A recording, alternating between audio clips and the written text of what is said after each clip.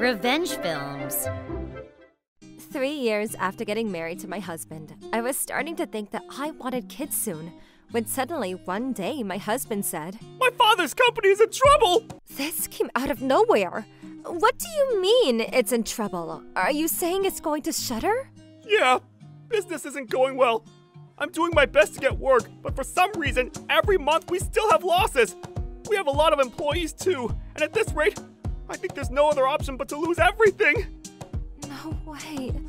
Both of my husband's parents had passed away already, though at different times, and my husband took after his father's company. When my husband became the CEO, he had asked me to quit my job, and I resigned from my old company. Hey, would you mind showing me the situation of your company? Sure, I don't mind, but are you going to understand anything? Yeah, I graduated with a degree in economics from college. And at my last company, I was in charge of accounting. I don't know if I'll be able to help, but I'll take any help I can get, even if it's from a cat. Please have a look. on it. I looked into my husband's company situation. When I opened up the inner workings, they were taking on multiple projects that were not adding up.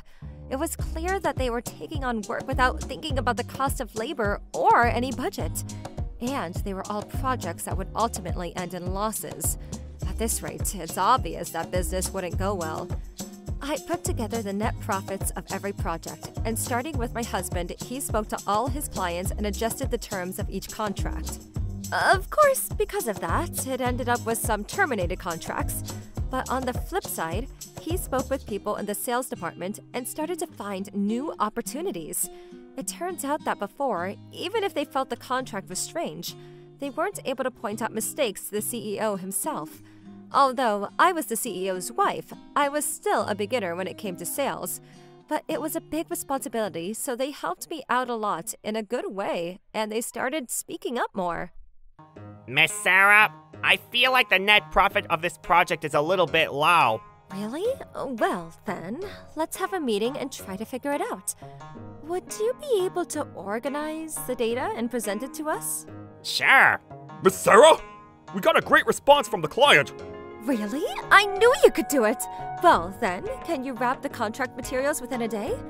Then you and I can get it finalized together. Yes! All the employees worked hard to fill in the blanks, and the results slowly started to show. It took a year, but the company was revived back into a profitable company.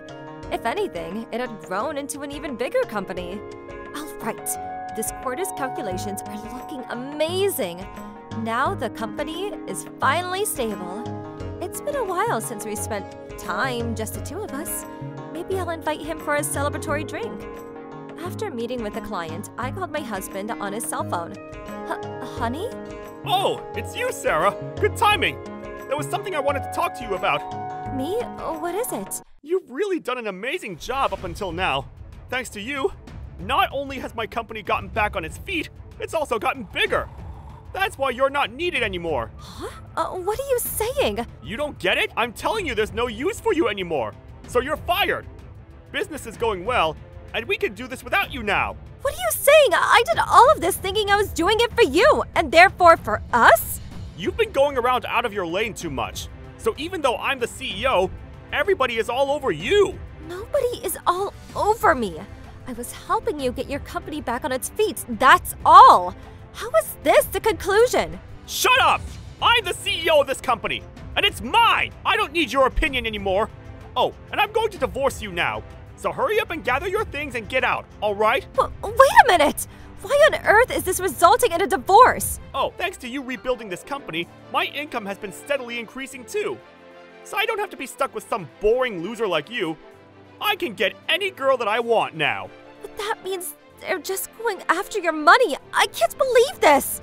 I worked this hard for my husband, but as soon as the company got on the highway, I was told that I was getting let go.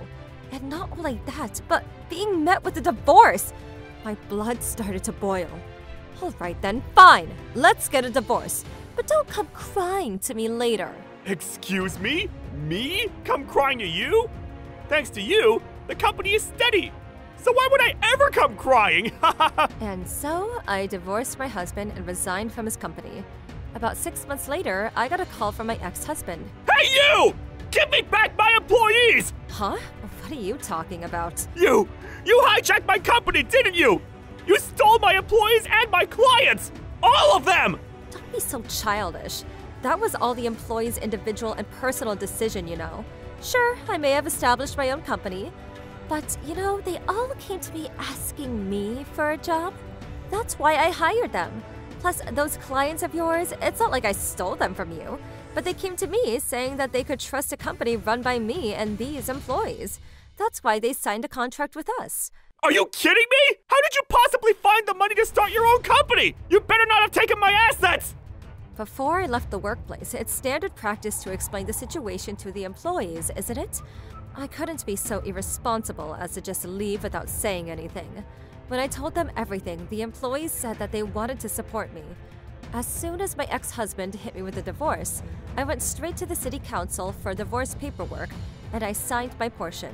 After that, I explained the situation to everyone in the company, but then they said, But the only reason that this company was revived was because of you, Miss Sarah! And you're getting fired? I can't believe this! Seriously! And all the CEO ever did was sit around and watch!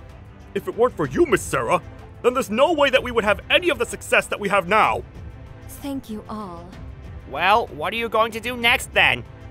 After this experience of rebuilding the company, I feel like I've gotten a good understanding of business in my own way. I don't know how many years it might take, but I'm going to establish my own business and someday make my husband eat his words. I wish you all the best.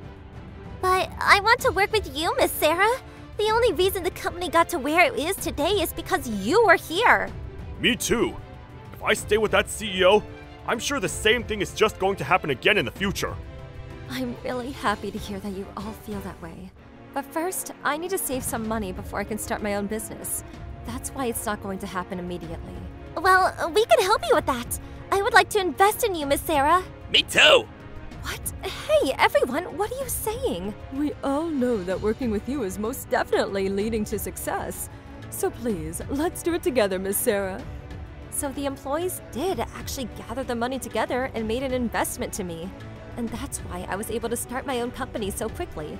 Then little by little, the employees transferred over from my ex-husband's company to mine, as well as the clients doing the same, which led us to today. The reason my company is a disaster? It's all your fault! You better take responsibility! What are you saying? That responsibility is all yours. Excuse me? What are you saying? Once I was gone, somebody else was looking after the finances, and I heard that you were using plenty of company money left and right, all for your own personal enjoyment. You know that I know all of that, right? And that means that you are treating the company like your own personal bank. Isn't it obvious that that would make the employees want to leave? What? No. Anyway, maybe the first time was out of your control, but the second time you destroyed the company with your own two hands. And why on earth would any employee want to stay at a company like that? Hey, wait a minute! Please help me! After that, my ex husband's company failed in business and went bankrupt. I heard that he was left with a very hefty debt. He did this all to himself, the second time around was truly his own fault, so of course, there was no way I would even want to help him. On the other hand, as for me, Miss Sarah, I got a message from the person in charge saying that they were very satisfied with the results. And that they would like us to be in charge of their new product as well. Really? That's great! Well then, let's go there together this afternoon and have a meeting with them. Miss Sarah, about the sample, I feel like we should maybe do it a little bit more like this. That's a good point. But I can't make a decision on my own, so let's get everybody else's opinion at the next meeting. Yes, ma'am. Thanks to the employees who followed me, as well as our precious clients that supported us, work has been smooth sailing. I can't deny that my husband irritated me, but he sank himself anyway. I'm surrounded by amazing, trustworthy work family, and I feel like I can get through anything with them by my side. How was today's video? If you enjoyed it, please subscribe, like, and leave a comment. Stay tuned for more.